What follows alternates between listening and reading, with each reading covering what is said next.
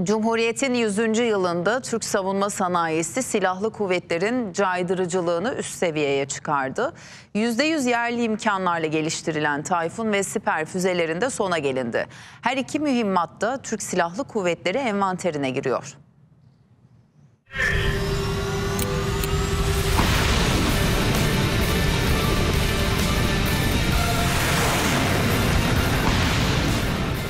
ülkemizin güvenliği açısından kritik olan bütün e, unsurları e, Siper, Hisar ve Sungur ailesiyle katmanlı bir yapı olarak biz koruma altına alacağız. Kilometrelerce ötedeki hedefi tam isabette vuruyor. Gelebilecek en ufak bir tehlikeyi tehdit oluşturmadan yok ediyor. Cumhuriyet'in 100. yılında %100 yerli Tayfun ve Siper füzeleri hazır. Tabii 100. yılın bizim için en büyük anlamı Siper'in sahada silahlı kuvvetlerin kullanımında envantere girmiş bir sistem olarak varlığını sürdürmesi bu bizim için çok kıymetli ve çok değerli olacak. Roketsan tarafından geliştirilen uzun menzilli hava ve füze sistemi Siper'le kısa menzilli balistik füze Tayfun tüm testleri başarıyla geçti.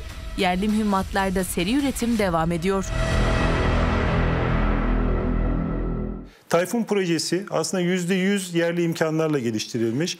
Ülkemizin füze teknolojisi noktasında gelmiş olduğu noktayı en üst düzeyde temsil eden bir proje.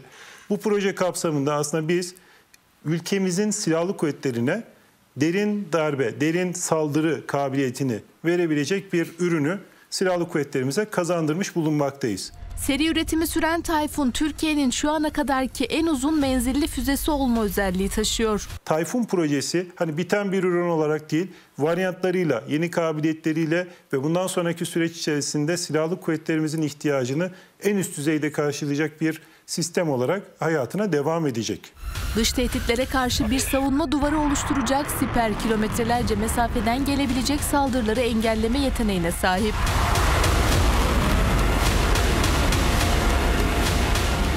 Siper 100 kilometrenin üzerinde bir engelleme kabiliyetine sahip hava savunma sistemi olarak ülkemizin çok ciddi bir ihtiyacını karşılayacak sahada. Katmanlı hava savunma sistemi Türkiye içindeki kritik unsurları koruma görevini üstlenecek.